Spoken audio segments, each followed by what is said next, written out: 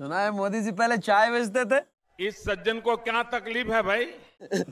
हमें कब पिला रहे हैं? क्या तकलीफ़ है इनको?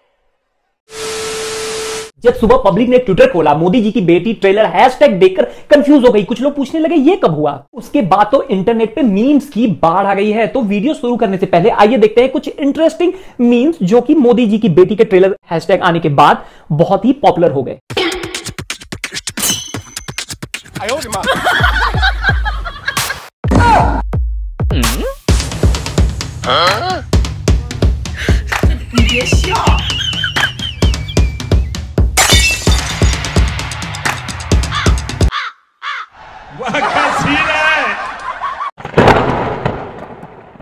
फ़िल्म एक ऐसी लड़की की कहानी बयां करती है जो फ़िल्मों में एक्टिंग करना चाहती है, लेकिन मीडिया ट्रायल की वजह से विक्टिम बनकर रह जाती है। उसे एक धूर्त पत्रकार जानबूझकर देश के बड़े राजनेता की बेटी के तौर पर पेश करता है, जिससे उसकी ज़िंदगी में बिल्कुल नया मोड़ आ जाता है। कॉमेडी और रोमांच से भरी इस कहानी में दिलचस्प मोड़ तब आता है जब पीओके के रहने वाले दो कम आतंकवादी बिलाल और तौसिफ खुद को साबित करने की जिद में ऐसा करने की ठानते हैं, जिससे लोग उनकी हिम्मत की दाद दें। इसके लिए बिलाल और तौसीफ हिंदुस्तान की बेटी ऑपरेशन के तहत उस लड़की को किडनैप करने का प्लान बनाते हैं, जिससे पत्रकार ने देश के सबसे बड़े राजनेता की बेटी बता दिया था। ये दोनों आतंकवादी अपने प्लान में कामयाब भी हो जाते हैं, लेकिन इसलिए नहीं कि वो बेहद चालाक है, बल्कि इसलिए क्योंकि उनकी किस्मत बहुत अच्छी है।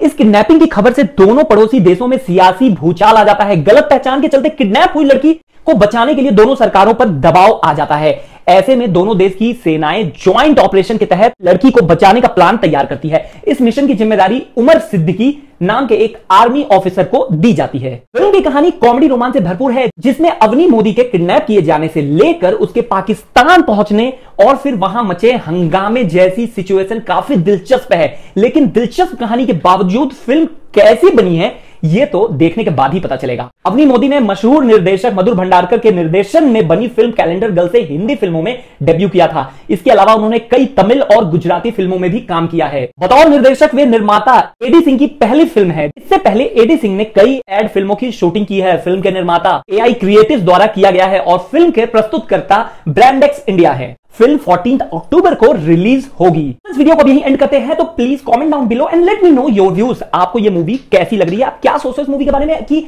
ये मूवी जब थिएटर में रिलीज़ होगी तो फिर क्या होगा? सो फिर मिलते हैं हमारी अगली वीडियो में। सो जाने से पहले चैनल को सब्सक्राइब कर लेना। Till then take care of yourself bye bye DJ.